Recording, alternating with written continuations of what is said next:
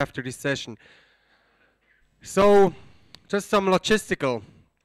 After this session is done, we go straight upstairs. The restaurant for the fondue is right upstairs. There are two ways to getting there. Either we all go outside, you take up the stairs, and it's on the right side of the re reception, or you go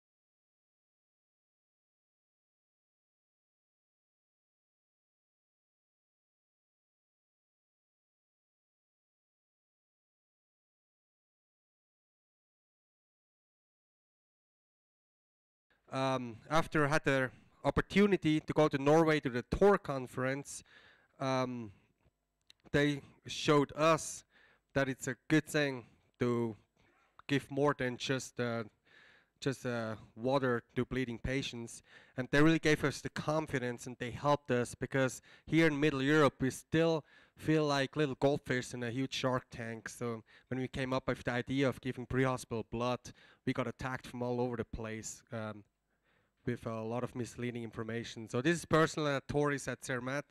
So I highly appreciate you guys came all the way from overseas and from Norway, from the United States, and have this great speech. So I hand this over. Yeah, hi guys. My name is Christopher. I'm uh, from Norway. Uh, I'm just going to outline the session for today. Uh, First, we're going to have Phil here. He will talk about the paradigm shift in hemorrhagic shock resuscitation. And uh, then Geir will talk after that about uh, hemorrhagic shock resuscitation guidelines. I think, yeah.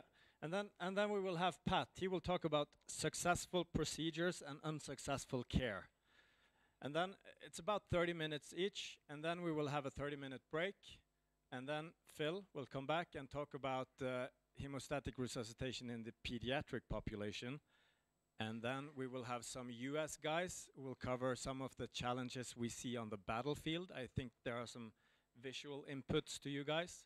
And then at last I will talk to you about the practical stuff uh, of implementing RDCR um, uh, procedures in, in the units. Okay,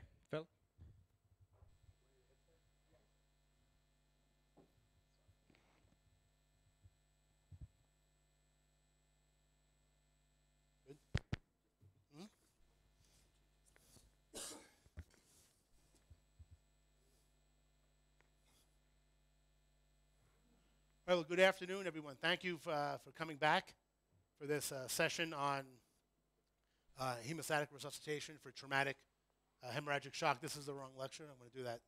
That's the wrong one. That's the wrong lecture. Yeah, the other one. Um, it's the one that says Zermatt whole blood rationale. You Want to help, maybe? Um, so I'll clearly be talking about pediatric uh, care later. So just uh, by way of introduction. I'm actually a pediatric critical care uh, physician. Uh, was active duty Army uh, for 12 years and deployed uh, to Iraq in 04, 05. And it's interesting, with my pediatric training in Philadelphia, we used whole blood uh, for cardiac surgery in children every day. So using whole blood to resuscitate for post-operative hemorrhagic shock was natural and normal for me. I go to Baghdad 04, 05, and it was right after, right when Fallujah uh, went to hell, April of 04, if any of you were military and remember it. We had many, many casualties coming in uh, with hemorrhagic shock, and at that point, we had no source of platelets uh, in, in theater. So while some of the other docs I was with were knowledgeable, well, knew we could use whole blood, it was my experience as a pediatric critical care doc that helped really um, advocate and push for using whole blood uh, more often that year. And that's kind of led to the entire, well, with, with many influences from many other people. I'm not saying it was about me pushing it. Uh, but a group of us really kind of pushed the, the envelope when it comes to resuscitating patients with hemorrhagic shock. That's just that's kind of why a pediatric ICU doctor is talking to you about uh, traumatic hemorrhagic shock, predominantly in an adult population. So my talk uh, now is about uh, Thor itself and the rationale uh, for using whole blood for hemorrhagic shock. We were asked uh, to give a little bit of background about Thor, in case you're not familiar with it. Uh, Thor is, is, an international multi multidisciplinary network of both civilian and military uh, providers. We have a wide range of, of members within the group, we, between medics, paramedics, you know, all the way to all different types of physicians, whether it be emergency medicine, anesthesia, surgeons, uh, et cetera. And we also have, you know, basic scientists that come to the group, uh, come to the meetings and participate, you know, all the way to clinical uh, trialists. Our vision within Thor has always been to uh, improve outcomes uh, for, for uh, traumatic hemorrhagic shock by optimizing the acute phase of resuscitation.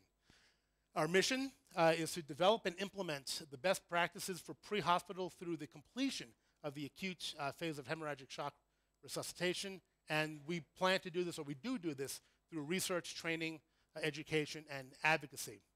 We often also get asked, um, how did this start? You know, uh, why is this uh, network based out of Norway, and why, why is Phil and Geir running this network? Well, it all comes down to communication, someone reaching out to another.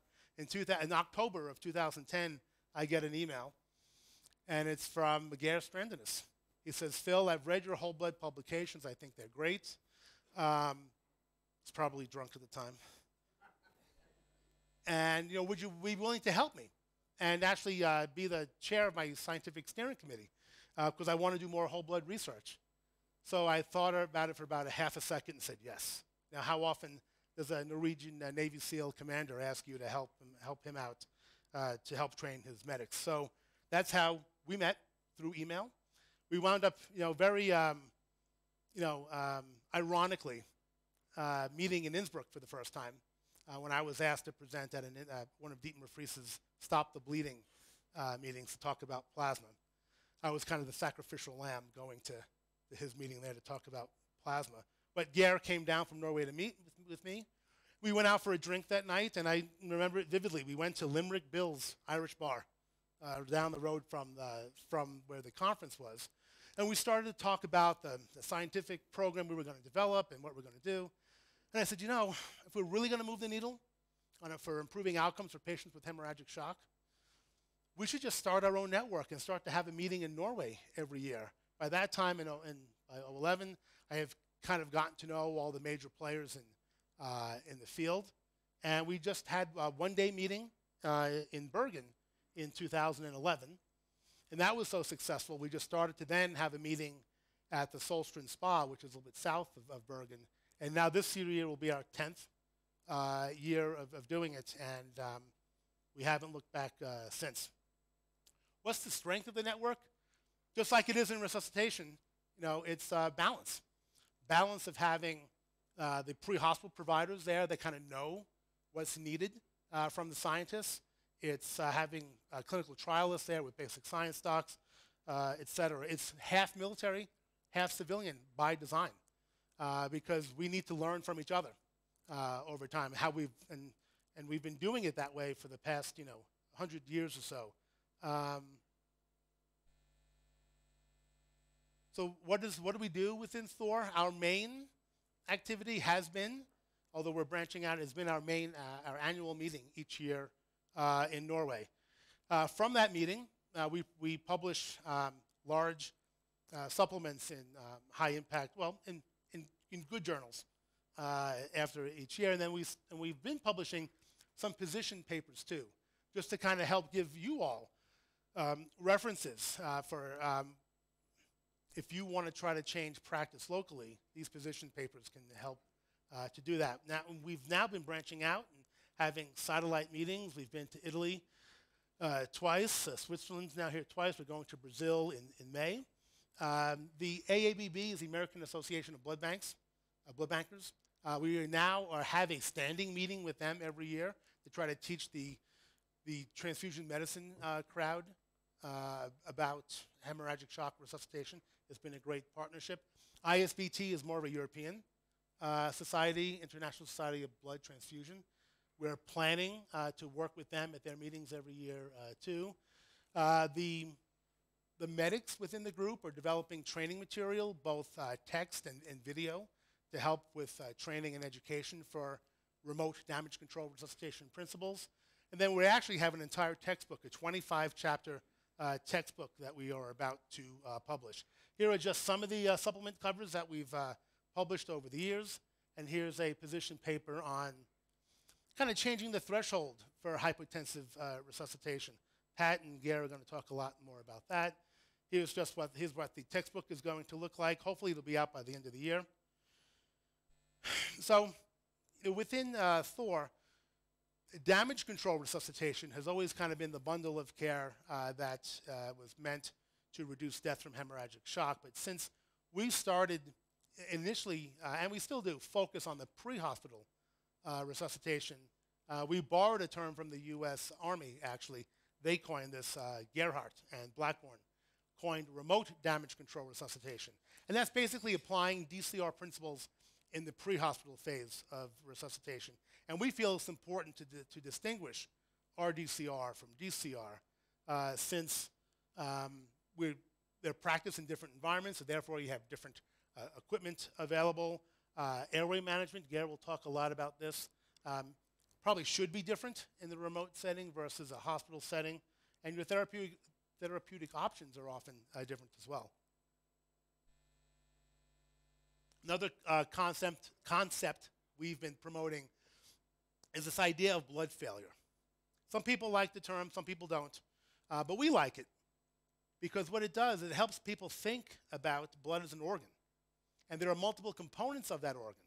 And when the patient has blood failure, and I'll describe it in a second, it makes you think, okay, so what within, what about the blood organ that's failing needs to be corrected for me to improve outcomes uh, for my patient? So clearly blood, the uh, function of the blood as an organ is to improve O2 delivery, is to main, maintain and regulate hemostasis. The endothelium is a, pla- is a platform on, on, upon which hemostasis occurs as well as vasoregulation and uh, immune function is clearly you know, uh, carried out within uh, blood itself uh, too. So when you think about blood failing and you think about it that way, it allows you to provide a balanced simultaneous treatment of each of the ways that blood can fail. And here's just a schematic of trauma-induced uh, blood failure because your blood can fail from other reasons too, right? So you have the actual, the, the blunt or penetrating traumatic injury. That leads to shock. And it's that shock that leads to then endothelial dysfunction, immune dysfunction, and hemostatic dysfunction, and they're all clearly interrelated. So when some people focus on just, you know, the, the hemostatic dysfunction, right? There's been a lot of talk about trauma-induced coagulopathy, the acute coagulopathy of trauma, all true and, and important, and they need to be focused on. But if you focus on just that, and you forget about the shock or you forget about the endotheliopathy, you're going to cause more of an imbalance in the system, or you're going to have a less successful resuscitation uh, over time. So again, blood failure is meant for people to think about it, providing a balanced resuscitation, addressing each of these dysfunctional uh, parts of blood function um, when they occur with shock. So how big of a problem is blood failure, right? Actually, it's interesting. Shock, coagulopathy, uh, endotheliopathy based upon syndecan uh, release, and even immune dysfunction occurs about 33% of the time for each of these for patients with severe traumatic injury. So it's, it's very common. And actually, each of them are associated strongly with, with worse outcomes. That might seem obvious to you, but there are, there's clear data showing the more initial shock, coagulopathy, endotheliopathy, and even immune dysfunction, they're all correlated with worse mortality. Therefore, uh, we need to uh, work uh, quickly to reverse those conditions to help Im improve outcomes. At least that's the, that's the theory. So for patients with traumatic uh, hemorrhagic shock, you probably do know the epidemiology, but it's worth going through. It's the most common cause of death from one year of age to, to 46 years of age. Uh, it's, hemorrhage is the most common cause of mentally preventable death. I'm going to go through that, those statistics in, in, a few slides later. Um, and you all know hemorrhagic shock, uh, death from hemorrhagic shock occurs really quickly. And even in hospital, it occurs within one to three hours of admission. But I'll show you a slide where the majority of hemorrhagic shock deaths occur pre-hospital. So if we're going to move the needle and improve outcomes for patients with traumatic hemorrhagic shock, we have to start to bring the therapy to the patient. We can't wait for them to get to the hospital. Here's just some data showing you why we need to focus on pre-hospital. The, the vast majority of deaths that occur uh, from uh, hemorrhagic shock are pre-hospital. In the military, uh, KIA is uh, for patients that die pre-hospital before they get to a medical treatment facility. Died of wounds are for patients that die after they get to, to the hospital. So if you're thinking about this in civilian terms, KIA is pre-hospital, death of wounds is, um, died of wounds is, is in-hospital deaths. And you could see, I mean, I haven't done the math here, but it's probably at least 66% of, they, of their dying pre-hospital, a third are dying uh, in the hospital. So if we're going to improve outcomes, right, we have to do it quickly. The peak here is uh, 30 minutes after injury, okay? And I know in some cities the transport time is 30 minutes for some patients, but not, but not for all, right? So even in large cities where your transport time is short, for patients that have a very high uh, rate of bleeding, okay, you, you, those patients will die before they get to the hospital. So what we're trying to do is move the needle, right? We're trying to, to take the patients, instead of just trying to focus on the patients that die in hospital, we're trying to get the ones that are bleeding faster and have more severe injuries and, and more aggressively treat them earlier to improve uh, outcomes. And it's patients like this. And this, this soldier survived. I took care of him uh, in Baghdad in 2004, Octoberish. And you can't, you know, you can't imagine, it's hard to imagine a patient like this surviving, right? But by pushing the needle and getting tourniquets on him very early, on scene, uh, the medics got these tourniquets on him within uh, minutes. And back then, this is 2004, we didn't have whole blood pre-hospital. But the second he got into the CSH, right, we were resuscitating aggressively with whole blood. That's what you see going through the catheter here. It definitely ain't crystalloids. Uh, and we saved his life. Okay? Uh, and it's, I still look at this picture 15 years later, and it's, it's uh, shocking. But this is what we're trying to do save these patients. Okay? Uh, and to do that, you have to be more aggressive and, and provide hemostatic resuscitation pre hospital. Oh, so we've heard a lot yesterday about you know, the principle you know, of not taking a knife to a gunfight, right? Which basically means you know you don't want to be underprepared for a uh, high stress, you know, high risk situation. Well, if you if you take that principle and think about it, you know, you don't want to take crystalloids to a bloodbath, right? Same same principle, you know. So Yosemite's got to bring bring blood to that fight instead of uh, crystalloids, um, and that's what we've been trying to promote. So now, what are these statistics about preventable uh, deaths after traumatic injury? The data is U.S. based, but there's about 150,000 uh, U.S. traumatic deaths in the U.S. per year. When we've combined both military and, and civilian data on the rate of deaths pre-hospital and preventable deaths from hemorrhagic shock pre-hospital and in hospital, we've, made, we've estimated uh, with, with good data that there are 30,000 preventable deaths from traumatic hemorrhage per year in the US. I mean, this is astronomical. It's huge. We don't realize how often people are bleeding to death in the States. And I, there may be some countries in Europe where this is not a problem, but I'm sure there are other countries uh, where it is, the, the problem is this, uh, this big. And then you do the math 25,000 of those 30,000 are dying pre hospital. Okay? So I hope I'm, I'm, being, I'm not being subtle here, right? The problem is pre hospital and we have to get uh, blood products and tourniquets, dried plasma, TXA, et cetera, uh, to the pre-hospital setting. So the, um, the bundle of care that, we came up with uh, back in 2004, we, uh, to reduce death from hemorrhagic shock, we called it damage control uh, resuscitation. And damage control is a, a long list of, of principles, again, aimed to reduce death from hemorrhage you know, what's probably most important is recognizing who uh, is at risk of having life, uh, life-threatening hemorrhagic shock. It's super simple when they're a triple amputee, right? But you can have a grade 5 liver uh, lac and not really recognize it until it's, it's too late. So we have to come up with methods to identify who might be at risk of, uh, of traumatic hemorrhage, of life-threatening hemorrhage. And you know, point-of-care devices. Uh, there are some groups up. The Mayo Clinic uh, in Rochester, Minnesota, is using NIRS technology. They say uh, for them, if the NIRS is less than 65, 70 percent, those are the patients that are going to wind up being uh, in hemorrhagic shock. Um, in, in Baghdad, we were using uh, INR at level one and level two uh, aid stations. They make point of care devices to measure INR and, and lactate. I know there are a lot of um, special forces units and other uh, civilian EMS programs using lactate uh, pre hospital to identify those at risk of bleeding. Preventing hypothermia, that's a no brainer. Uh, hemorrhage control with mechanical hemostatic adjuncts, right? Tourniquets have clearly uh, come back for very good reason, and there's been a lot of uh, advancements in the past 15 years with their use, and I think reintroduction back into the civilian uh, world as well.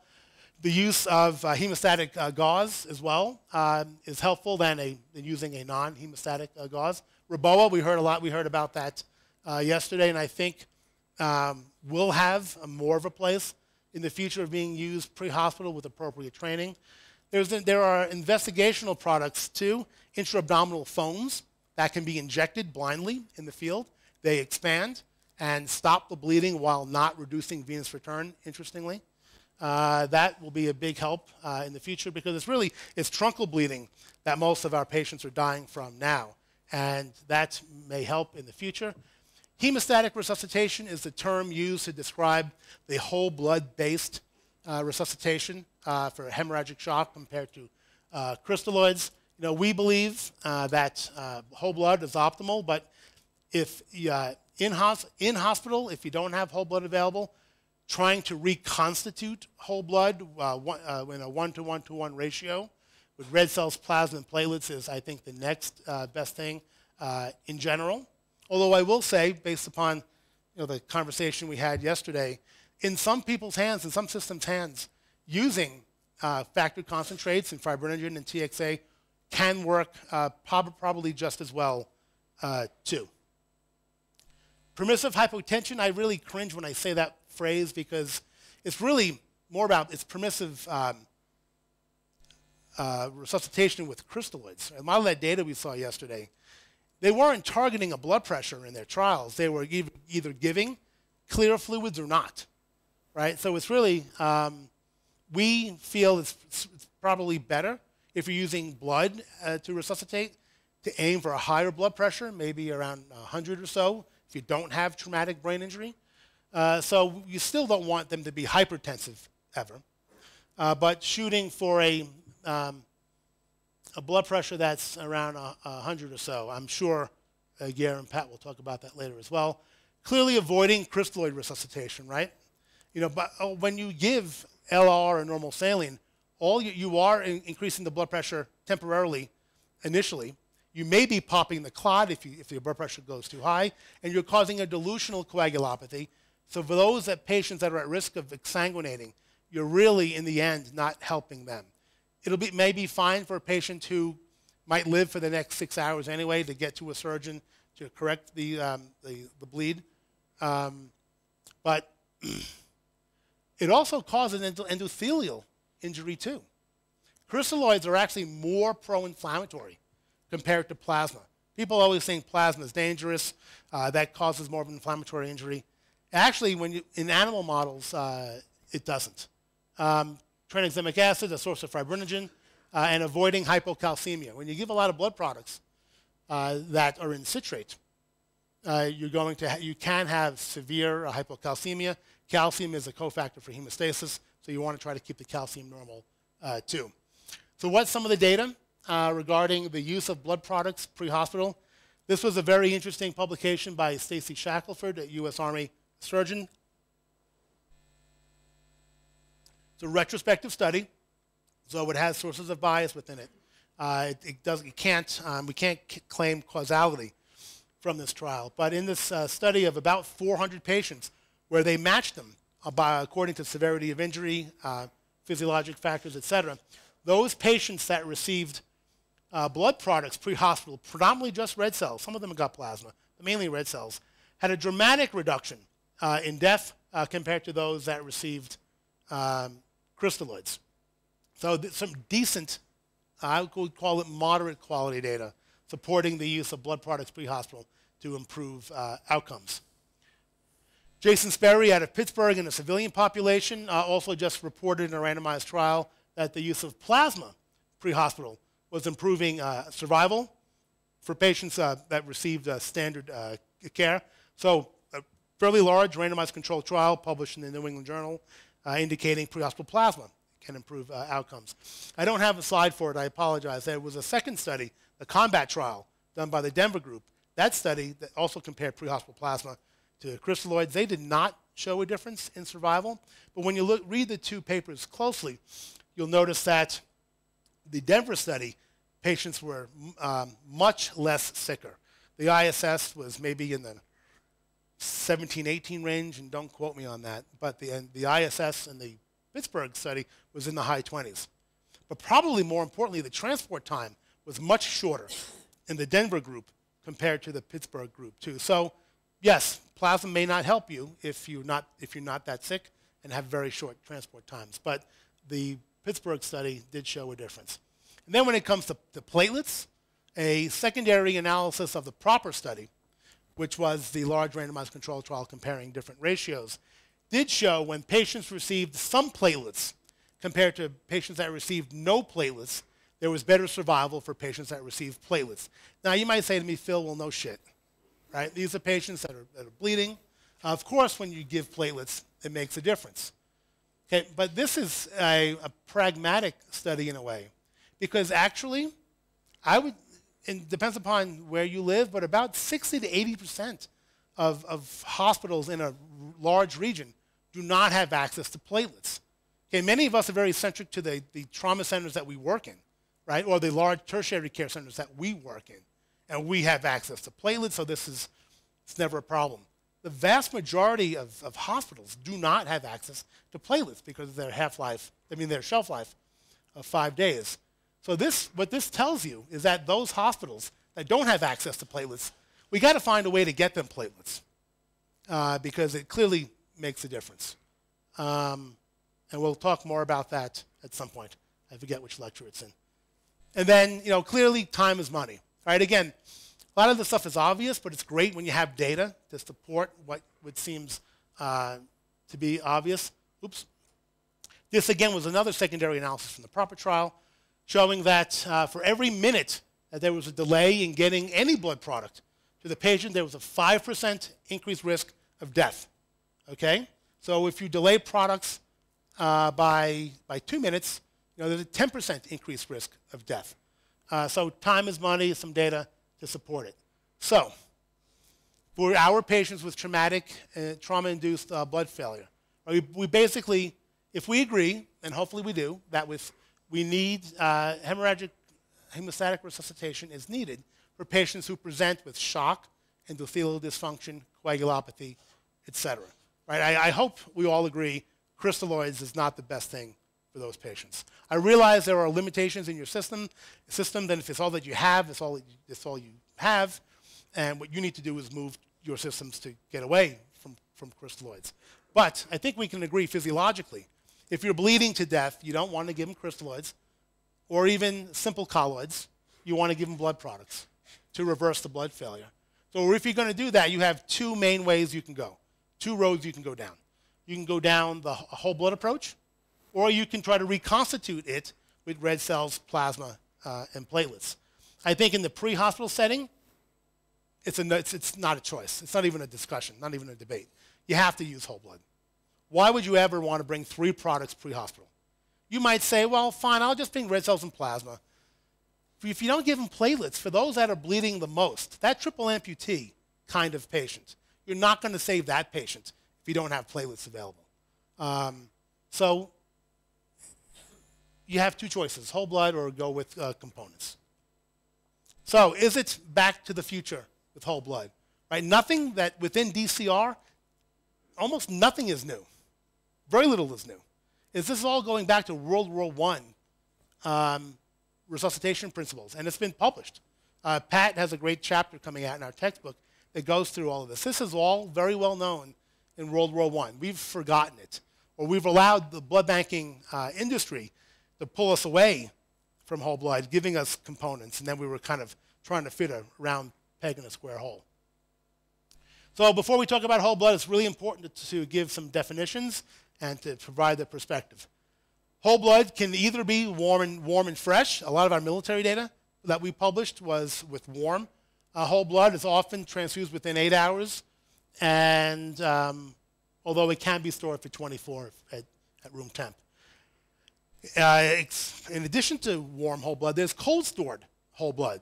Okay, that is a licensed product in the EU, uh, and it's licensed uh, by the FDA in the US. Uh, uh, it's stored between 2 to 6 degrees Celsius. It can be stored up to 35 days, according to current uh, regulations.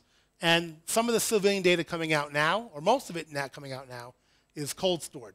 So while they're clearly similar products, uh, you have to they are different. And when you read the literature, you have to know what you're reading.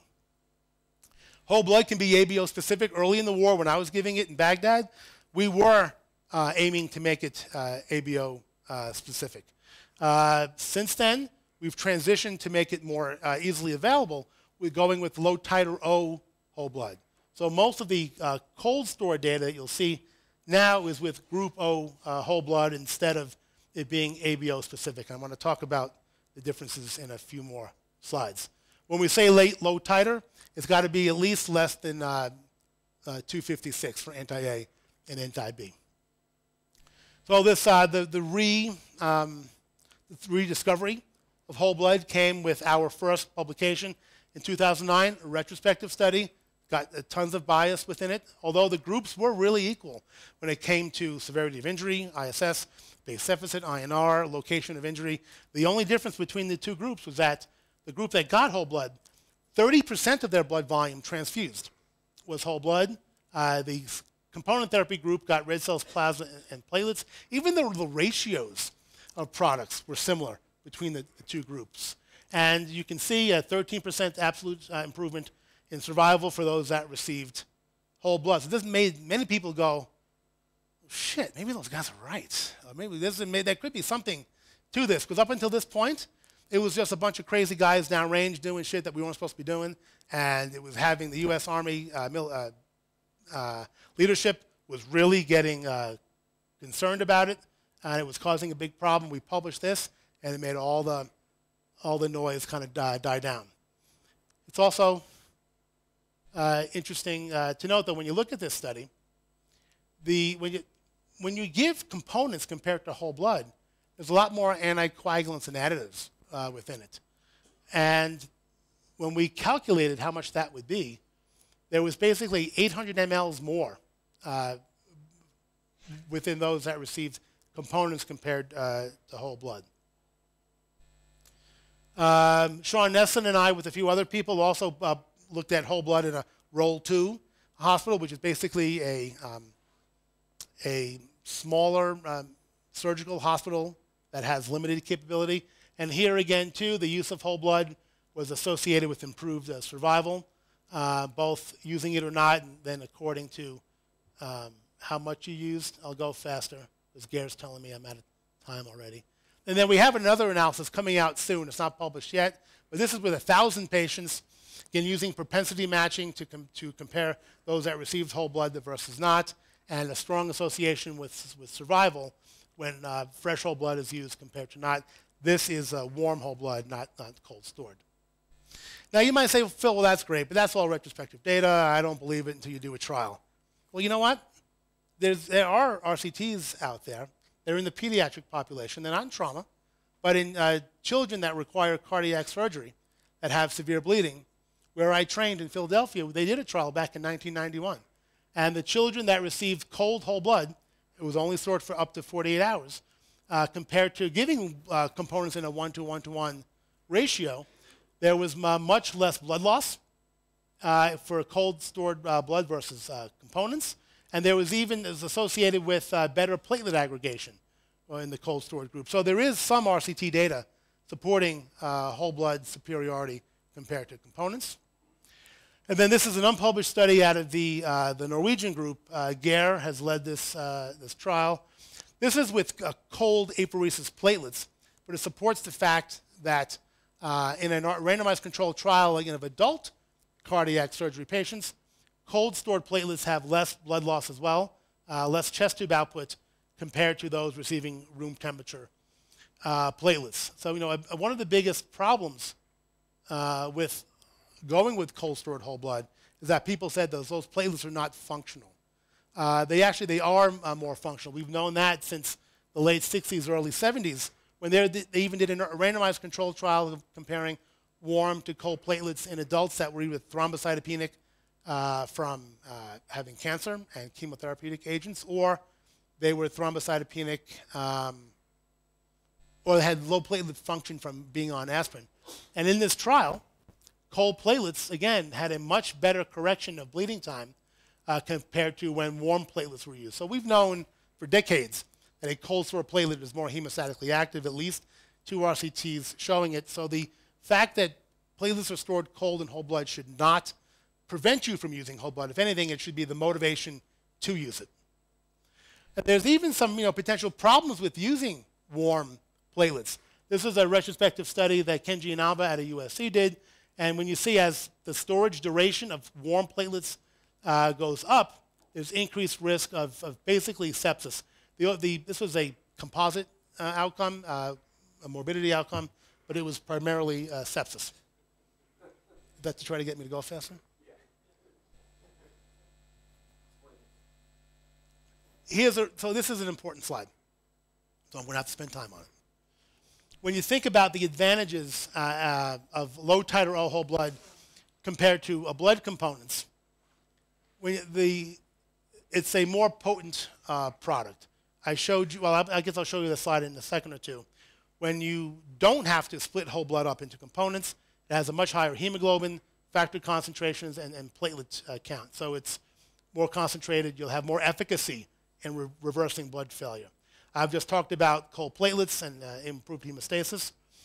You can now actually wind up increasing the storage of platelets by at least three times as much. Warm platelets can only be stored for five days. A cold store platelet, you have probably at least up to 15 days at the minimum to get equivalence compared to a warm uh, platelet. So the fact now that you can triple your storage duration means you can now start putting those platelets out at those hospitals that don't have them now where patients are currently dying of bleeding. Okay, so the availability of a, a cold store platelet product dramatically increases when you go with low titer O whole blood, and this might be the biggest factor that improves outcomes uh, for patients because it will allow us to put whole blood or cold platelets in places where they're not available now. It's actually even safer to use a group O whole blood compared to trying to give uh, individual blood components. And that's just due to um, uh, human um, factors, making a mistake. Right? When we try to type uh, red cells after we use maybe the first few units of, uh, of, o, of O negative red cells, then we try to switch to give them ABO specific red cells. Human error leads to a 1 in 80,000 risk of a severe uh, transfusion reaction, which can cause uh, death. When you give group O whole blood, those red cells are always O. They don't change. They, they can, we continue using it throughout the resuscitation. So there's no risk of a severe hemolytic reaction. If anything, there's a risk of incompatible plasma when you're giving group O whole blood, but we do that every day with platelets, right? And you do it often with group A plasma to the group B and AB patients. So incompatible plasma is not, uh, doesn't cause any fatal reactions. So it's safer to give a group O whole blood than to use components where you wind up switching to uh, ABO compatible products. With cold whole blood, there's no bacterial contamination risk when you use warm platelets, okay, that have plasma in it, there's a bacterial contamination risk. Okay, one in 5,000 units are contaminated with, uh, with uh, bacterial agent. Um, and then the, the logistic advantages, right? All those of you, all of us that resuscitate patients, okay, it's much easier to give one product compared to, compared to three, especially in the pre-hospital setting. Data on cold stored whole blood having better aggregation. I'll go through that faster. I'll, go, I'll skip past that. This is just showing you that uh, components, when you, add, when you add them all back together, you wind up getting a very uh, dilute product compared to just using whole blood. Here we did the math, and there's, again, just as I showed you in our, in our trial, or in our retrospective study, there's about 800 mLs more of anticoagulants and additives when you give components. That anticoagulant, citrate, that's not good for a bleeding patient, right? That's going to anticoagulate them. But that's what we're doing when we give components compared uh, to whole blood. I talked about that already. Um, up until a year or two ago, people would say, Phil, this is great, but I'm not allowed to give it. The standards don't allow for Group O whole blood to, uh, to be used. So we said, fine, we're not going to let that stop us. Andre, myself, and Mark Yazer, uh, for the Thor organization, lobbied the AABB, and within three months, we got them to change the standards. And now uh, Group O whole blood is an acceptable uh, blood product to be used, and I imagine in Europe it's the same thing. Um, it's being used now, since we've changed the standards, we've dramatically uh, increased the use of whole blood in the US and, and in some places around the world. Uh, in Norway, uh, at Haukeland University, they're using it for their trauma patients. Uh, in Israel, they're using it throughout the entire country in their pre-hospital uh, uh, system. And many large centers in the US are now using whole blood. The number's actually up to 25 now. We just did a survey, and 25% of hospitals have no limit on how much they're using. Since these programs are just starting to use whole blood, some of them have chose to only uh, limit the amount that they're using. Uh, the mean is four, but some are going up to eight. And then 75% are using it for trauma only. The other 25% recognize that a patient that has hemorrhagic shock has hemorrhagic shock. They're all, whether it's obstetric hemorrhage, GI hemorrhage, postoperative uh, bleeding from liver surgery, cardiac surgery. If you're exsanguinating, you're exsanguinating. And they're giving whole blood to those patients too. And by them doing that, it does make it easier for them to maintain an inventory and to use it within uh, their system. Um, there are some places that are using a lot of, of, whole blood so far. In the past year or two, uh, Bergen has passed 100 patients so far, and in San Antonio, you know, uh, close to, to 300 as well too. And again, in San Antonio, the majority of patients actually don't have trauma uh, when they're using it for, for massive uh, bleeding. So in conclusion, uh, whole blood-based resuscitation, uh, I feel, is optimal for trauma-induced uh, blood failure. Um, and I think it's optimal compared to one-to-one-to-one for logistic efficacy and safety reasons. Um, and the pre-hospital benefit is better than not. I have a few more slides. Uh, what's the future, right? Because you can imagine bringing a low titer whole blood pre-hospital in liquid form still has some logistical constraints. It's liquid, you have to keep it cold. Uh, in Washington University in St. Louis, uh, we've started a company and we're, we are developing a nanoparticle-based artificial red cell that can be freeze-dried. And so far in, in rabbits, it's, it's, it's working similarly to rabbit uh, red cells. We have a long way to go, but uh, it's, it's, it's um, very um, exciting to think about ultimately one day having an artificial red cell that's freeze-dried. I say artificial red cell, not HBOC, because uh, this nanoparticle uh, is packed with hemoglobin, 2,3-DPG, a methemoglobin reductase system, and the uh, shell is impervious to nitric oxide. It's basically, we have re-engineered a red cell that is, freeze-dried. And uh, when you think about that, and the fact that you could add it with uh, dried plasma, and there's even dried platelets in phase three trials now. We can have a dried whole blood equivalent in the next five to six years. That really uh, helps uh, the pre-hospital systems and even uh, in hospitals. So that's you know, where we're going in the future. People have always ask, how do I get my Thor swag, right? You know, in the past, you'd have to beg Gary, and he'd bring you a T-shirt and stuff like that. So if you want to buy Thor gear, you can. Now we're selling it on our website, so you can get your hat that Gary loves to wear, your Viking Law T-shirt, etc. So uh, that's where you get your stuff. Limerick Bills, where the idea of Thor started, you know, and uh, we say all the time, you know, blood is for bleeding, salt water is for cooking pasta, right? And, and beer is for drinking. Thank you. You want to just keep going? Yeah.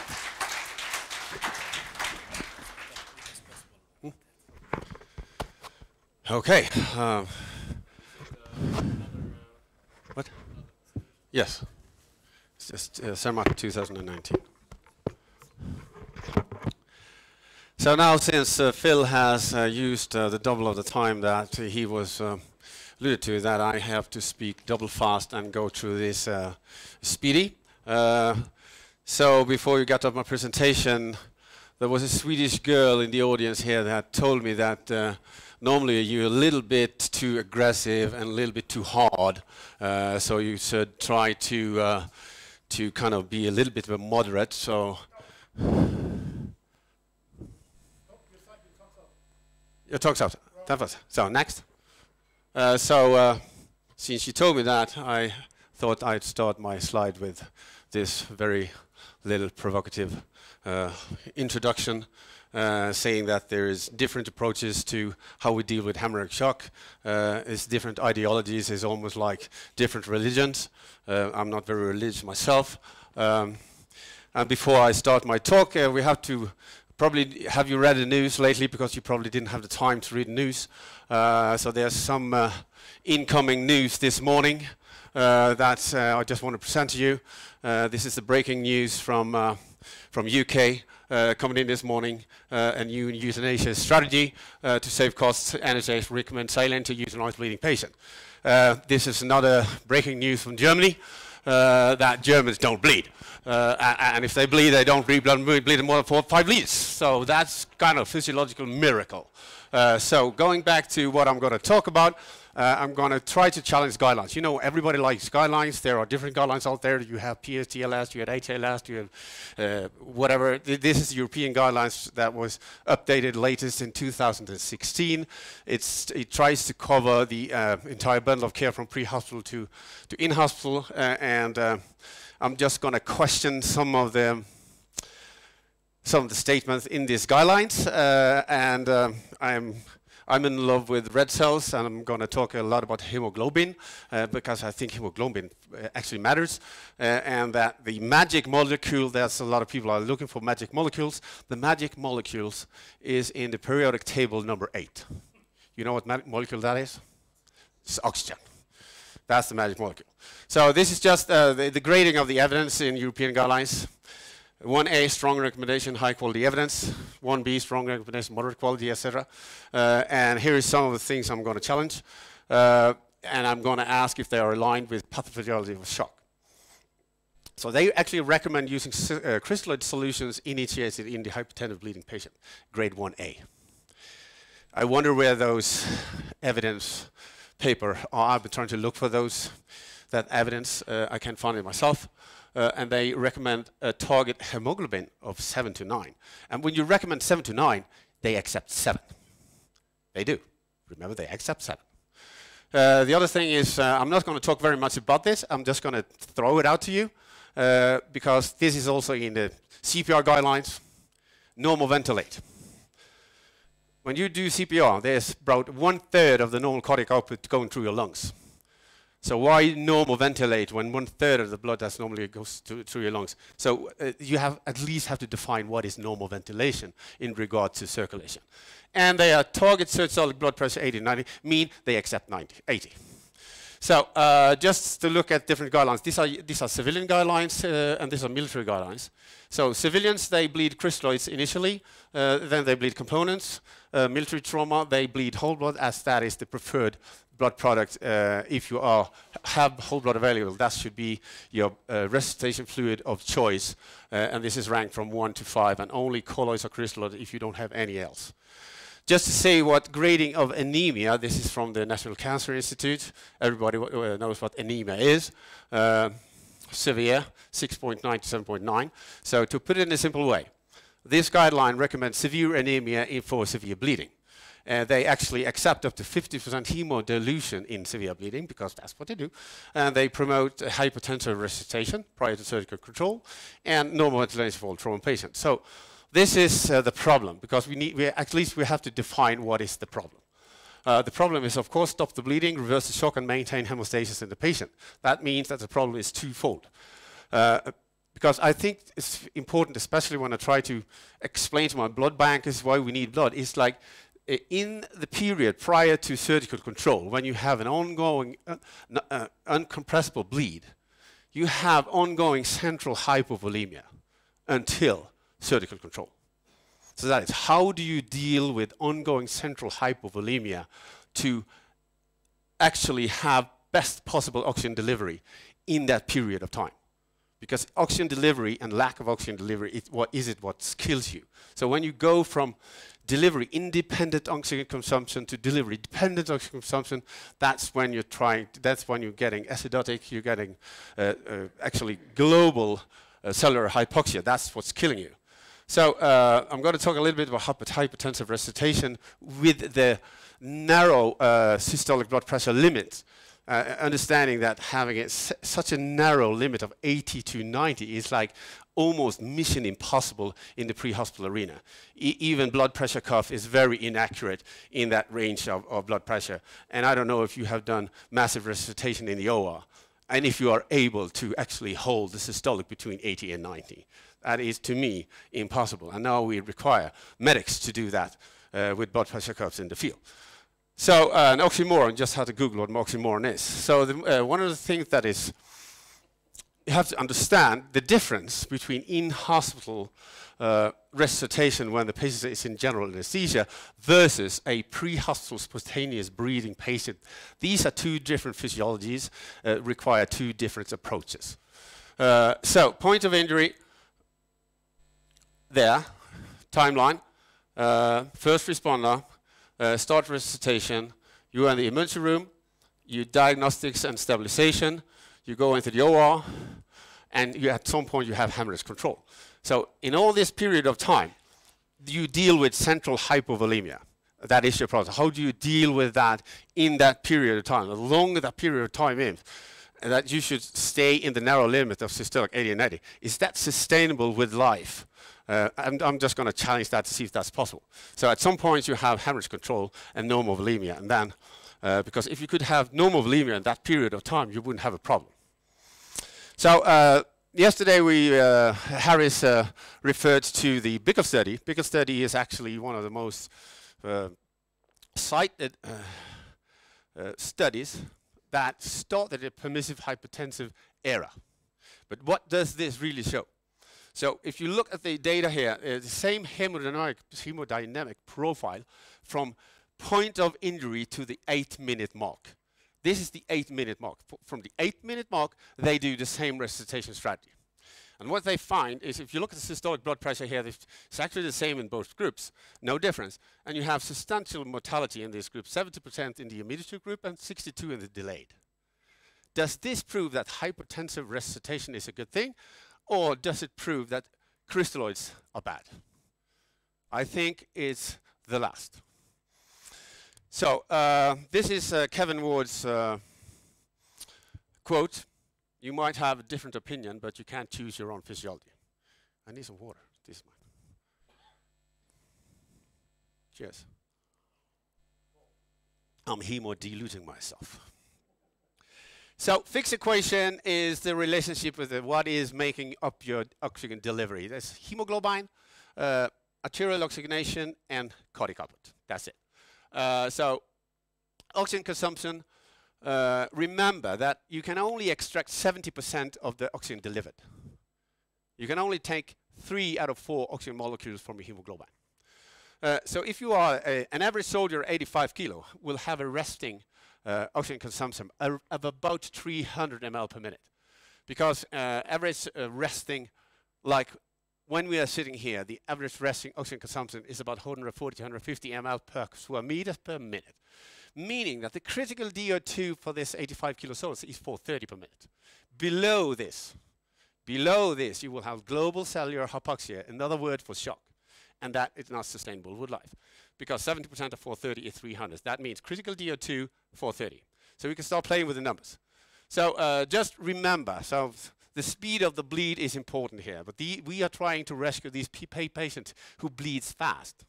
Uh, and when you're bleeding fast, your, your blood pressure and cardiac output is reduced rapidly accordingly. So if you uh, medical physiology by Guyton, Guyton, you have to read this book. Uh, it's about the relationship. If you draw 40% of your total blood volume in 30 minutes, cardiac output is 50%. So according to Guyton, and also some Vic Convertino research group have done some LBNP, low bo lower body negative pressure chamber with good compensators, show that when they reach the systolic 80 to 90 marks, their cardiac output is 50% reduced. So we don't measure cardiac output in these patients because we would like to measure it, but we can't measure it. So we measure what we can measure. We measure blood product, blood pressure, which might not be the best indicator for perfusion. But Emerson, he figured this out in 1945. So this is known physiology. Systolic pressure below 85, 85 is an average blood volume loss of 40%. And systolic of 100 is less than 25%. So they used uh, their strategy was to resuscitate to at least 100. And that's based on a huge number of patients that they resuscitated in the field. So uh, just figuring the out critical DO2 lowest survivable hemoglobin with a cardiac output of 3, because it's systolic 80 to 90 is cardiac output 3, then your lowest survivable hemoglobin is 10.91. And if your saturation is 90, the cutoff is 11.88, and the guideline recommends 7 to 9. Uh, figuring out critical DO2 and lowest survivable cardiac output with a hemoglobin of 7 is actually 4.67 liters in the patient that I, I just mentioned as this single character. That means that the conclusion that the guideline alone for hemoglobin as low as 7 requires close to normal volemia, and that is our problem is that we cannot acquire normal volemia. We actually have, oh, this is central hypovolemia all the time. So this is not survivable at all. Uh, so just showing this curve is shown one more time. This is a relationship with the, the oxygen delivery and the oxygen consumption. And you have a critical DO2, this is the inflection point of the curve. And if you are here on the curve, from here to there will be oxygen deficit. And the time spent below uh, the critical DO2 is getting up what is called oxygen debt that has to be repaid. And the higher the oxygen debt, the, the, the, the higher the mortality. So you don't like to be there. So your patient, you want to, what you do when you resuscitate, you want to have your patient on the right side of the red line. Uh, and you don't want to be too narrow, so this is your danger zone. Uh, and this is where you want to be when you resuscitate. Uh, Patrick going to show a little bit more of this curve.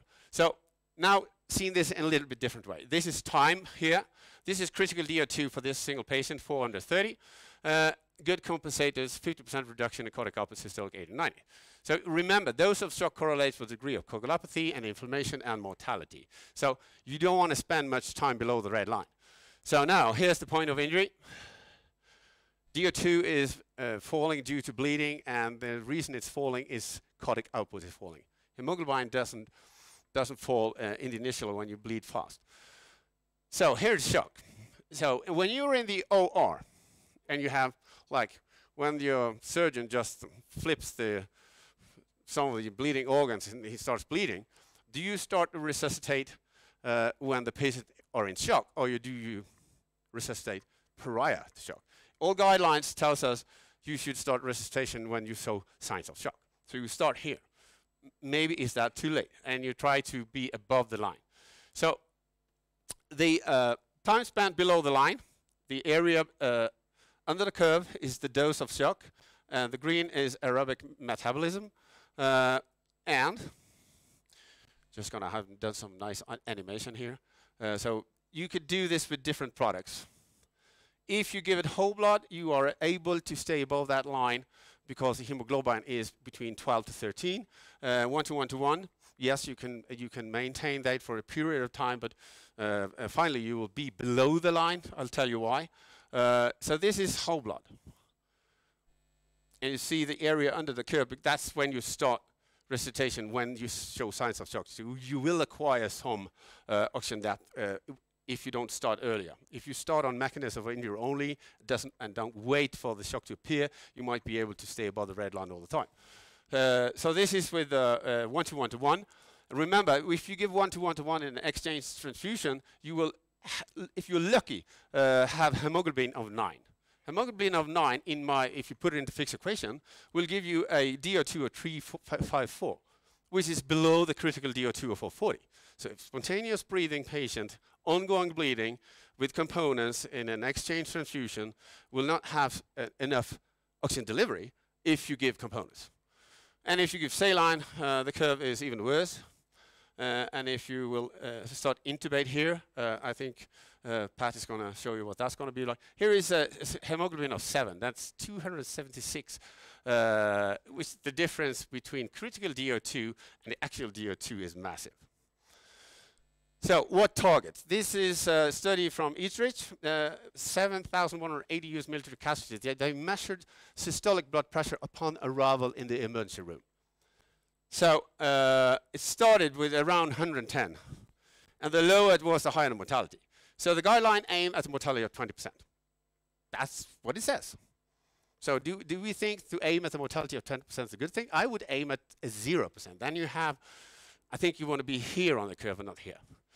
Uh, so the same is for, for traumatic brain injury. And by the way, uh, the guideline tells you that if you have ongoing bleeding without TBI, you should not pop the clot and keep systolic between 80 and 90. If you have TBI and ongoing bleeding, then you should just give a shit about popping the clot. But then the guideline says you should keep uh, mean, mean arterial pressure of 80. So if we think that we can maintain a mean arterial pressure of 80 with ongoing bleeding and TBI, wh why don't we do that in those without TBI? Well, uh, just remember, outcomes following trauma laparotomy is that if they arrive in the emergency room hypotensive, the mortality is 50%. If they're not hypotensive, the mortality is 12.4%, meaning that hypotension in this group of patients is not good. Uh, this just reminder uh, that you can read this in Mollison, that is the Bible of blood bankers. Uh, if you give old red cells, and actually it starts on day 21 around, upon transfusion after 10 minutes, 25% of your red cells is gone from the circulation. They are actually gone. That is not very efficient transfusion, giving old red cells when 25% of your blood is just gone from the circulation within 10 minutes. So that means if you give one to one to one in a massive transfusion in the hospital, where first in, last out is mainly the, what the blood bankers do, that they give you the oldest blood for this patient meaning that if you acquire a hemoglobin of 10 with 1 to 1 to 1 with old red cells, your patient end up with a hemoglobin of 7.5 because 25% of 10 is 2.5 minus 10 is 7.5. So you, the guideline using 1 to 1 to 1, they cannot recommend a hemoglobin uh, above 9 because it's unacquirable. So sub-analysis uh, of PROPPR studies showed actually the first time that we were able to show that older red cells has impact on mortality. All the other studies that is done in this area is done in patient in the ICU who is normovolemic, which is another animal. So uh, Phil showed you this. This is just uh, plasma in uh, circulation. Here we see it is 55%. When you give one to one to one, the plasma volume is 38. Uh, in whole blood is 48. Uh, hemoglobin is 9 to 10, here is 12 to, 12 to 13. So if you transfuse, this is our uh, trauma pack in Bergen. Uh, if you give 6 units of whole blood and compare to uh, 6 to 62, total volume transfused 3000 ml, real blood is 2622. And here you see uh, you have to transfuse actually 4150 ml to equal 6 units of whole blood. So uh, if there are a lot of green people in here, uh, then this is also the advantage of uh, whole blood is organic, natural, non-GMO, free range, gluten-free, high in protein, low in carbs. So uh, save the planet, give whole blood. Uh, this is the Emerson from 1945, and I love to read old papers, but there's a lot of experience in those data, showed how people did it in the early stage of time when they recognized that hemodilution was bad, uh, the considerable proportion of patients in severe shock failed to respond adequately to plasma because the US entered the World War II using only plasma as a resuscitating fluid. And in, in the North African campaign, they had to borrow a lot of UK whole blood. Uh, that pisses Americans off, but there's a lot of UK blood running in the veins of Americans, and they don't like that. So in last year of the war, they had a whole blood program. They shipped 500,000 units of whole blood uh, uh to the theater in Europe the last year of the war. So hemodilution in is inadequate DO2 death by hemodilution.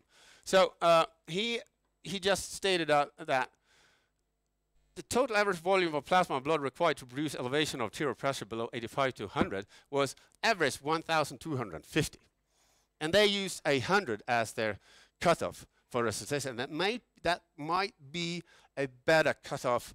Uh, uh, I'm not saying that hypotensive resuscitation should be done. It's just where is the where do you set your your limit? Where's, where's your threshold?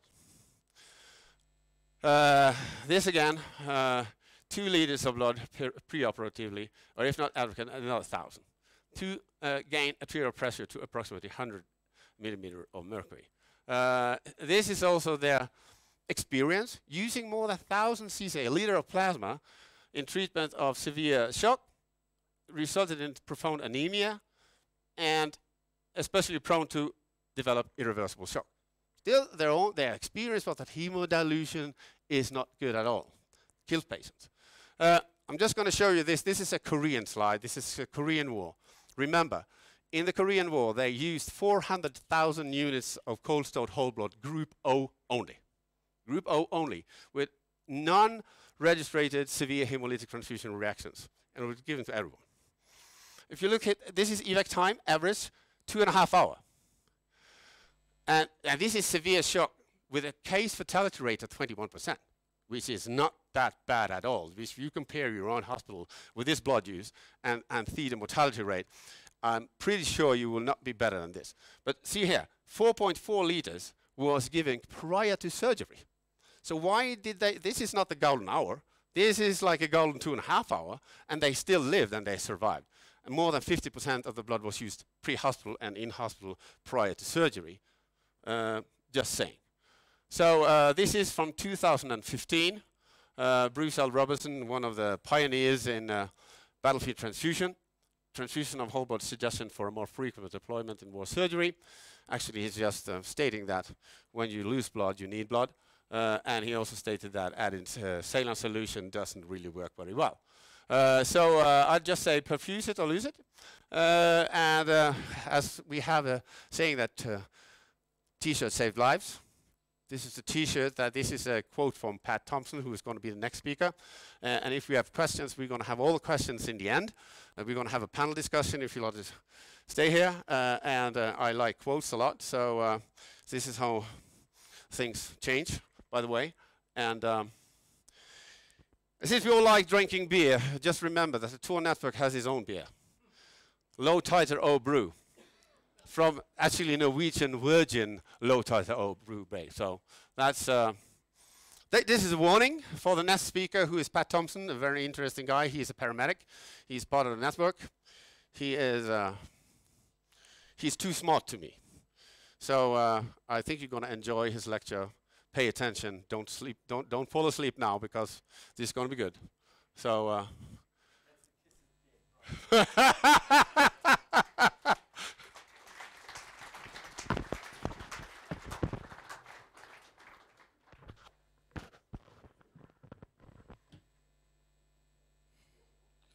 how do we how do we shift the uh, the the slides along? Okay, I have videos coming up there's three individual videos. You have to click each box. So, no.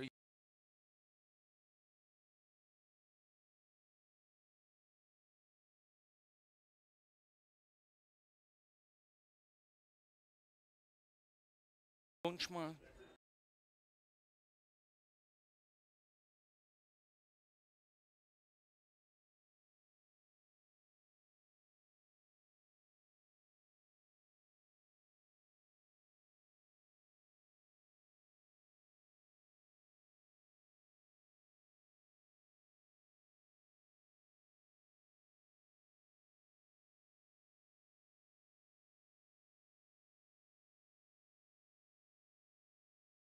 Testing. Is good?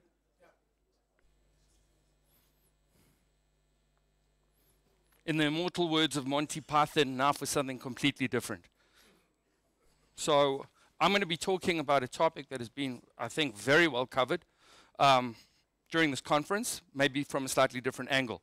But as I like gear, I particularly like history, I'm going to start off with some history and hopefully draw a correlation to what I'm talking about a little bit down the line.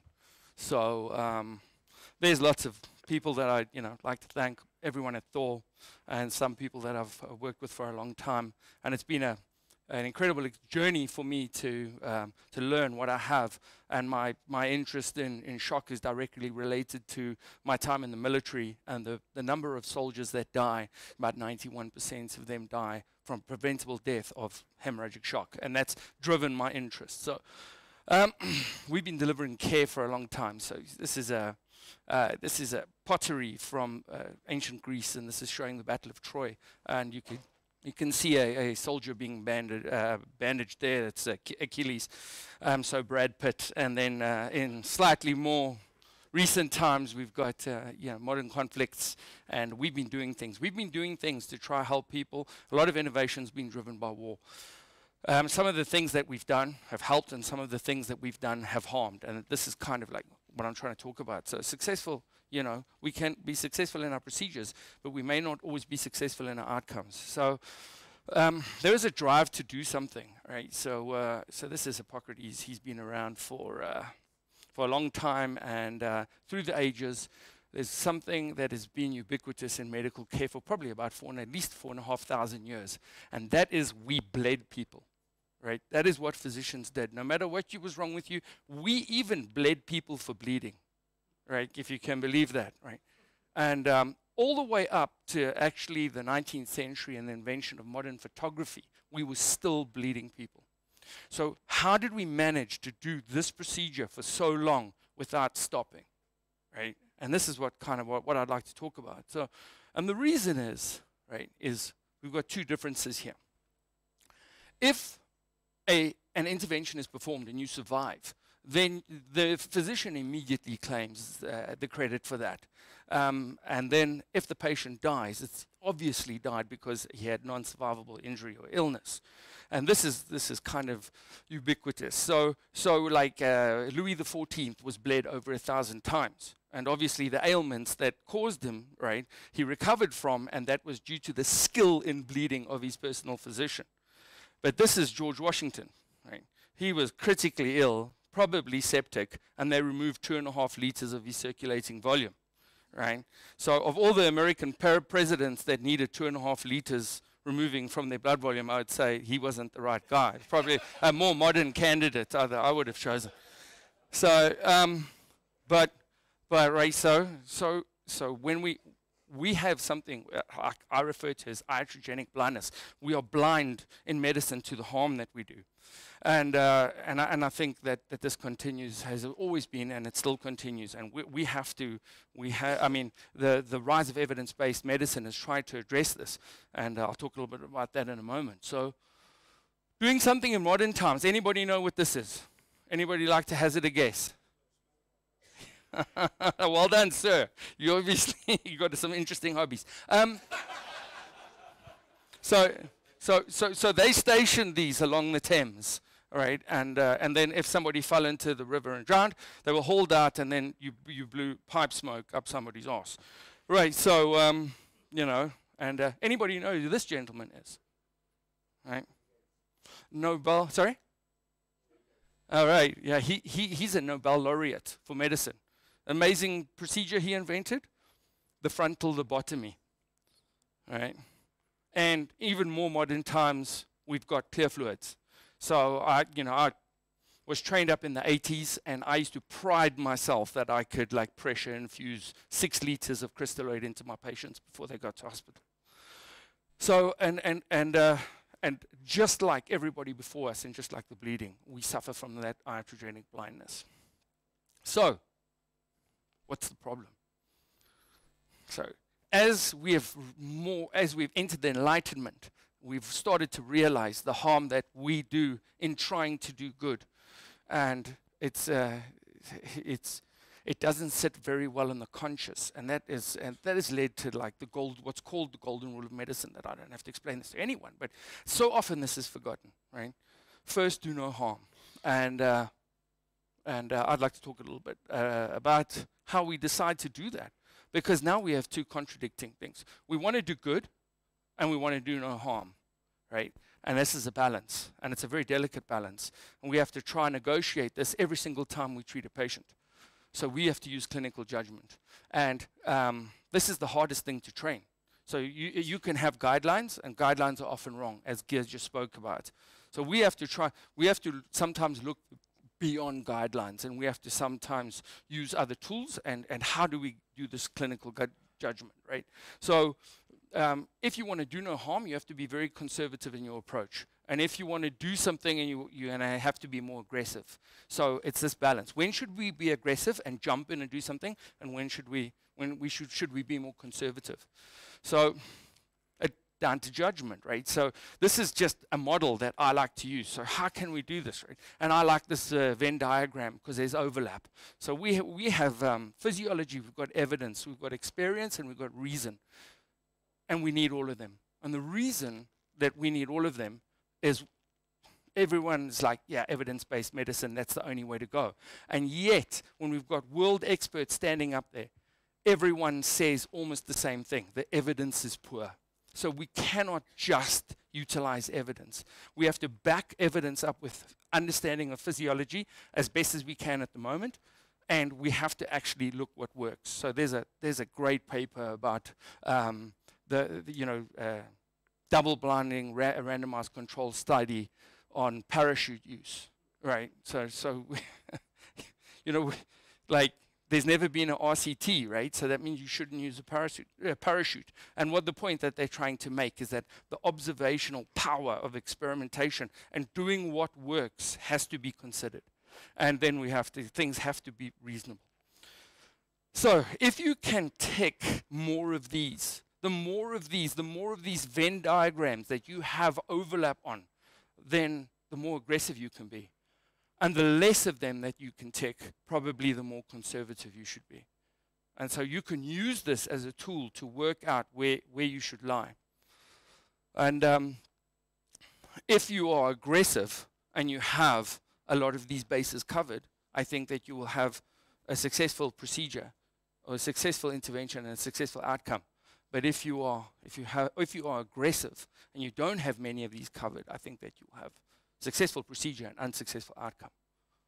Right, so, sure, everybody's seen this photo. Okay. So, how should we treat this patient? Right, so this is pretty much what I'm going to talk about. I like to give it takes a case study to kind of and make it real to make it visceral. Right? So I'm sure everybody would probably use some kind of a strategy, structured approach whether it's March if you're military, whether it's C, A, B, C, D, E, might just be A, B, C, D, E. Probably a lot of people would start off with the blood that's flowing out.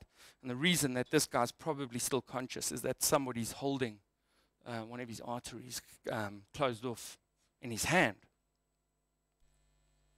And then we'd move on to airway and breathing and then back to circulation. So I would like to think that probably this would go through almost everybody's head here. And this is what I'd like to look at, right? So, aggressive use of tourniquets. Well, you know, this is not the main focus of my talk, and I'll be talking in the workshop a little bit about it. But you know, I would like to argue that there is, you know, that we have we have uh, uh, we understand the physiology of using tourniquets very well. Um, we have now lots of published data from the from the conflicts, from recent conflicts.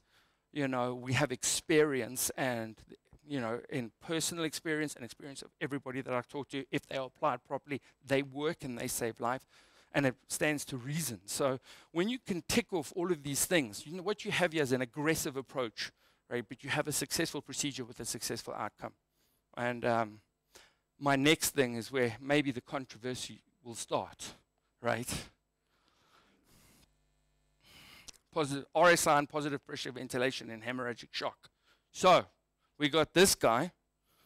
Can we be aggressive? Can we ag be aggressive with uh, RSI, pre-hospital anesthesia, and uh, and uh, positive pressure ventilation once we've induced anesthesia? So here's a question: You are the receiving clinician of this casualty. Show of hands. Who here would RSI this guy? One. Only one. Two. Okay, I'll make it slightly more challenging. This guy deteriorates on his way to you, and he gets to you, and he is now unresponsive to pain stimulus. Now, who would RSI this guy? He's got bilateral amputations, catastrophic hemorrhage, and he's unresponsive. Who would RSI the guy? So it's five or six. Actually, not that many. So, well, this is what I'd like to talk about because a lot of the speakers uh, that we've had, you know, have, uh, have uh, pretty much um, discussed quite aggressive approaches to RSI. So, so let's talk about that. And I'm going to talk about each of these fears and look at a couple of things and then kind of draw a conclusion. So let's look at the physiology. So, what's our definition of shock? Geir's covered some of this. So, it is when the delivery of oxygen is a mismatch between delivery and consumption. And we have global cellular hypoxia. Then we have a lot of associated pathologies. And it's not just these, it's a lot more. Turns out shock is very, very complicated. But we must remember that the driver of almost all of these are both the tissue injury and the associated oxygen debt and the blood failure, as Geir spoke about. So, if the problem here in shock is DO2, I'd like to take a little bit of a closer look at DO2. So Geir's put this in here. I just want to double tap it to make sure everybody's tracking here. So, so you can see that we have point of injury, and as our DO2 drops, we have no drop in VO2, right? Until we hit critical DO2, and then we have decompensation. What happens to our lactate? Well, that's almost the inverse. So because we have no drop in VO2 until we hit critical DO2, these two path. And this is why, right, we use tools to check for metabolic acidosis almost as a definition for shock. How, how, can, how can this work? How can it, well, basically our oxygen extraction ratio increases and then our venous, so we're just pulling more of the magic molecule. We're pulling more oxygen out of the blood. Quite important. By definition, when you go over the edge of this cliff, right, and you are generating oxygen debt, you are hypoperfused, and that is why this is happening. You are hypoxic, but you have glo systemic global hypoxia, and you are developing acidosis. And if you remember, one of the previous talks talked about what um, what's his name, uh, Scott Weingart calls the hop, the hop killers. There we have the hop killers for RSI, right, right there. By definition, in shock. Okay, so but the problem here is DO2. So what I'd like to do is talk about um, that in a little bit more detail. So Geir's covered some of this as well. So DO2 is this equation and there's only three variables. So if shock is this drop in DO2 to where it passes critical DO2, then we must, if we're going to do something about this, we must understand these three variables, and this is where it all takes part. So let's look at cardiac output, because in shock, cardiac output is the problem.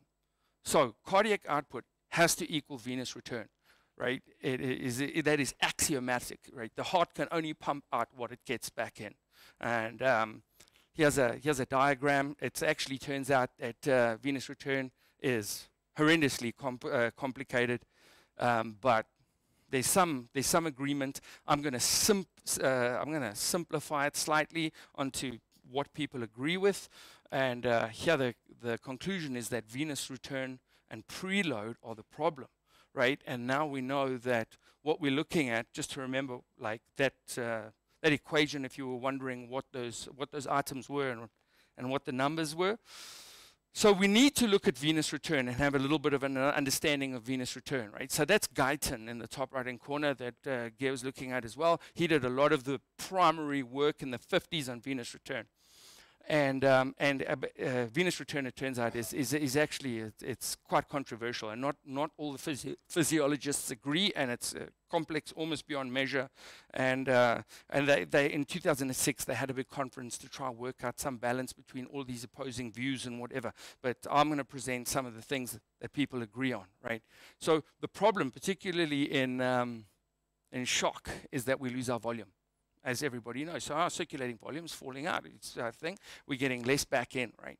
So there are compensatory mechanisms. So that is the main driver. That's our problem is we've lost volume. And then that is reducing venous return. So so we have to look at how can we compensate. So obviously there's, uh, we can increase systemic vascular resistance, one of the other main compensatory mechanisms, and one of the great effectors of venous return is the respiratory pump.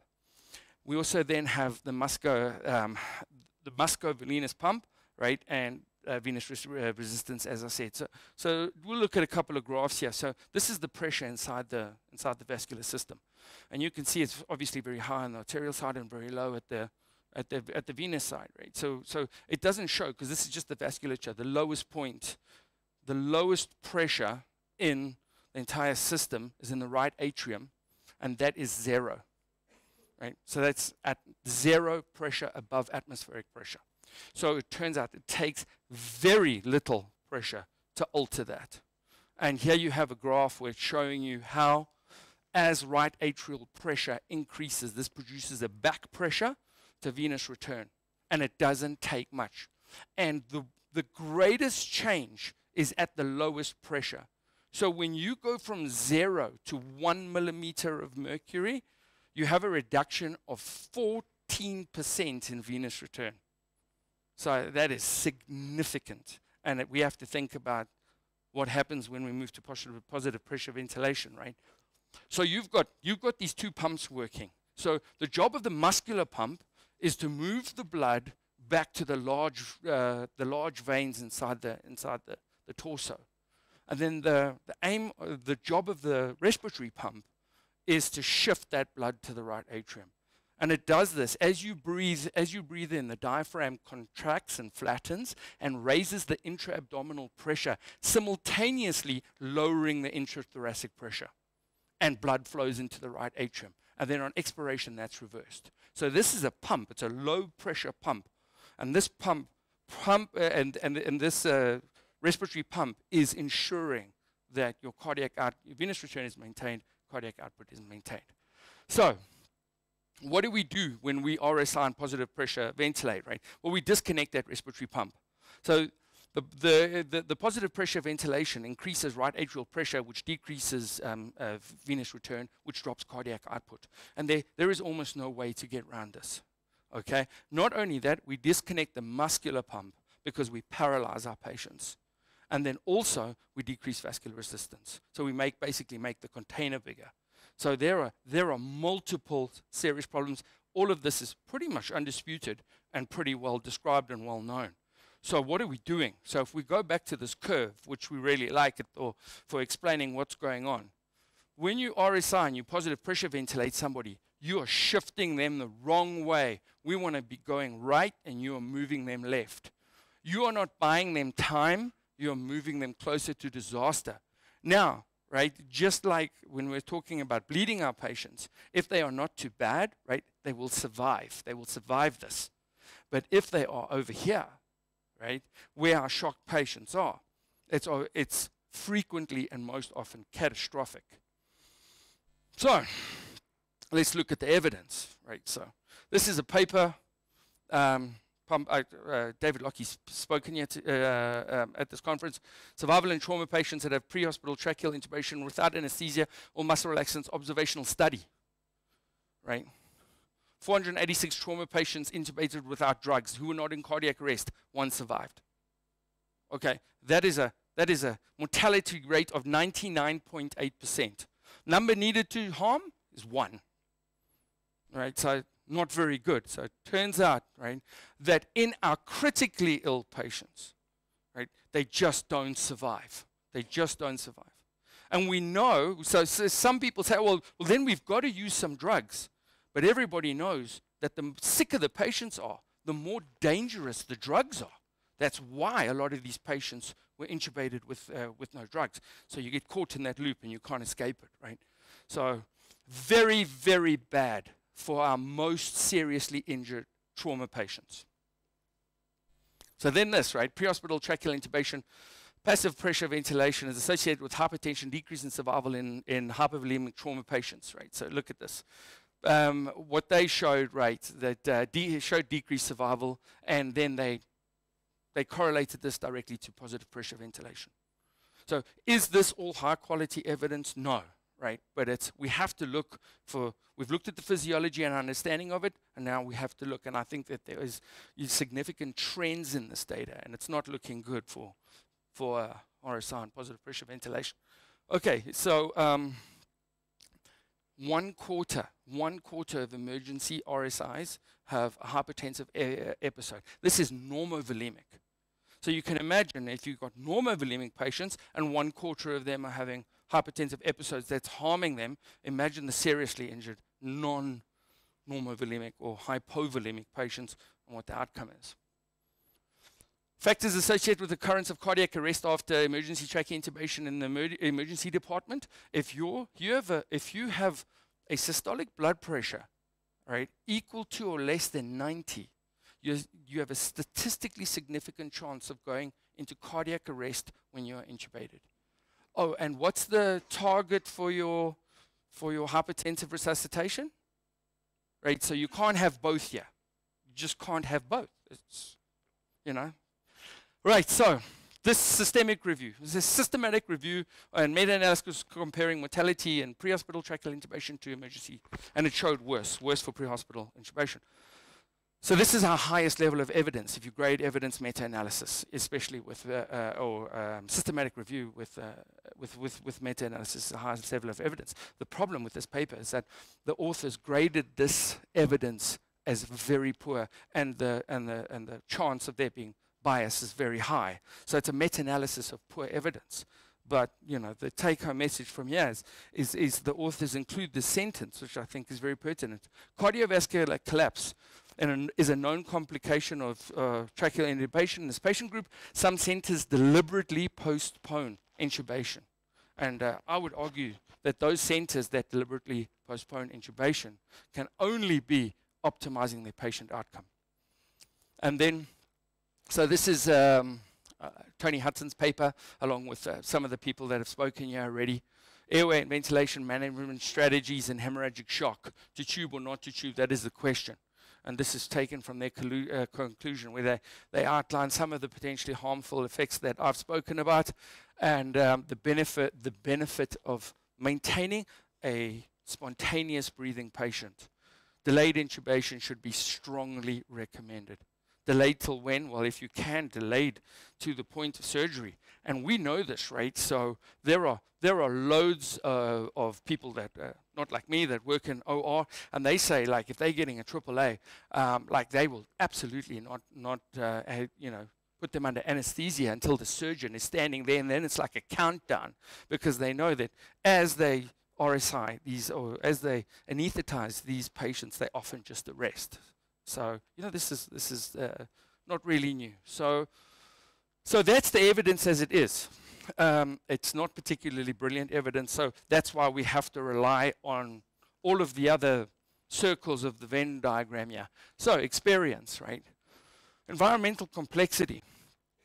As we move further from the OR towards the point of injury, right? We have an increase in environmental complexity.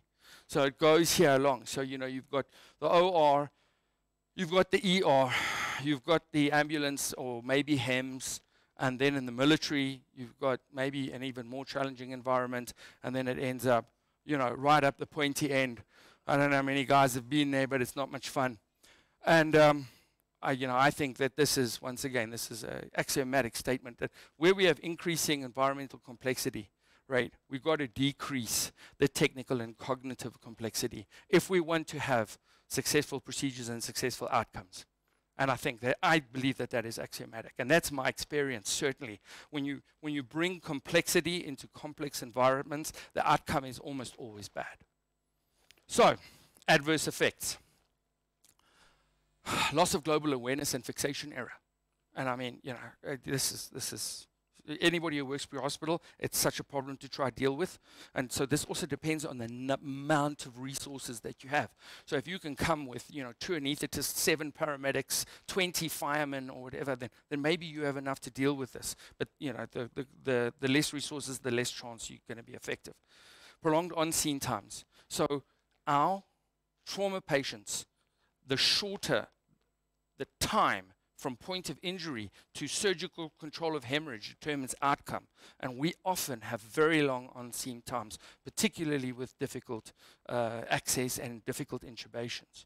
So that's pretty bad. Um, complex decision making, right? It's very resource intensive. We get difficult and failed intubations, uh, not, not, intubating on first pass, going down you know, difficult airway uh, or failed intubation paradigms, hyperventilation.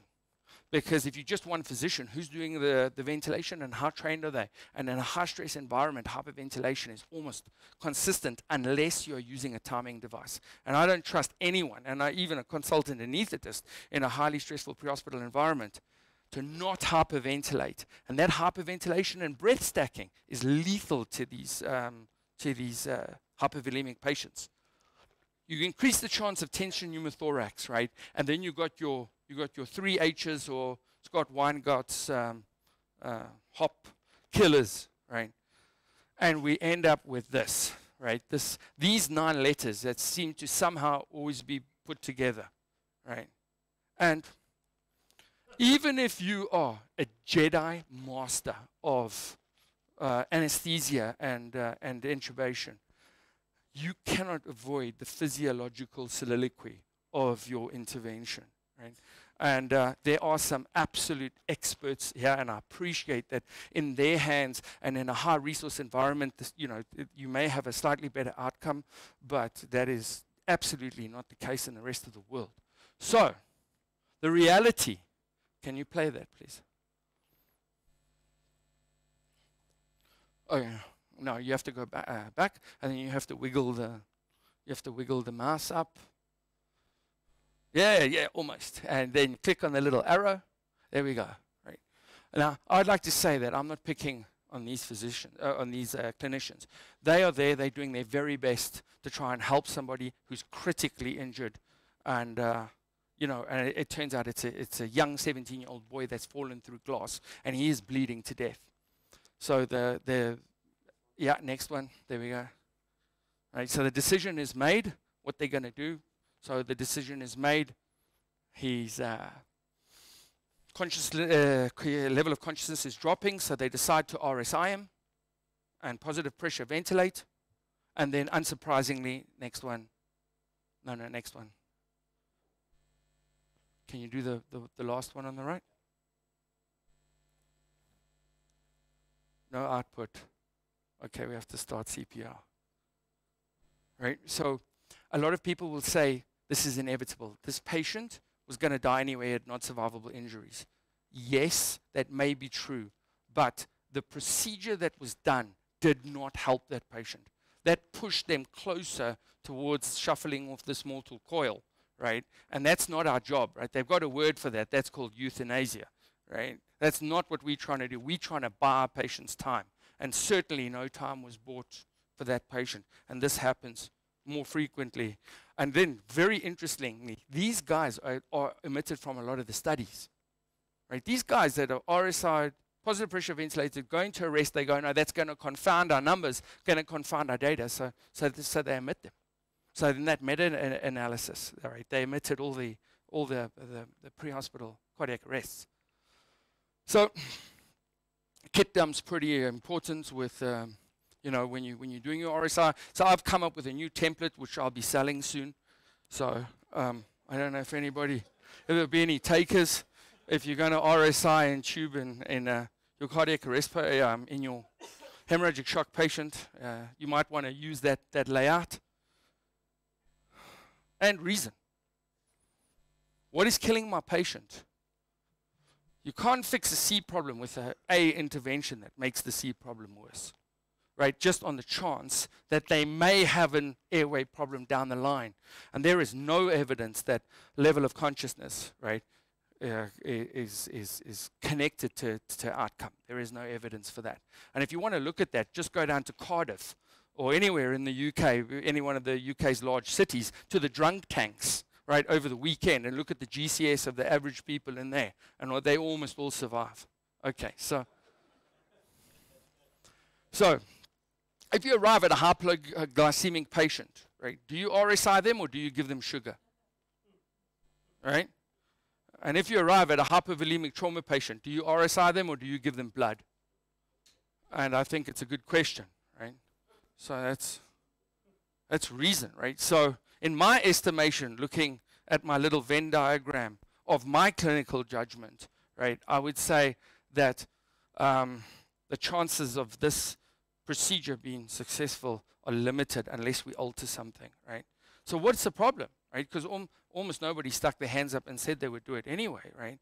The problem is that it's in the guidelines, right? And lots of guidelines. I don't have time to trawl through them all, but you know, um, uh, mandatory is the word that uh, European European guidelines use. And then here's good old Scott Weingart's guideline for resuscitation. What's number one? Right, assess SpO2 and ventilation with view to early intubation for, for, for massive hemorrhage. Right, so there's a you know there's there's a bit of a problem here. So um, somebody said this before: resuscitation before intubation. Right, so so so the message is getting out there, and I would say that RSI and positive pressure ventilation is a relative contraindication relative to the resuscitation.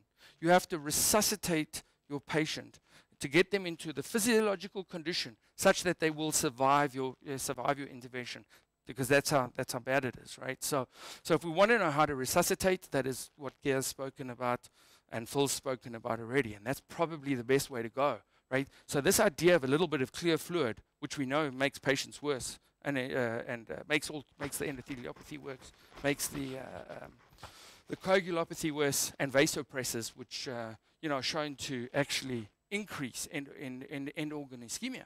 You know that's that's probably not the way to go. So what is the way to go? Right.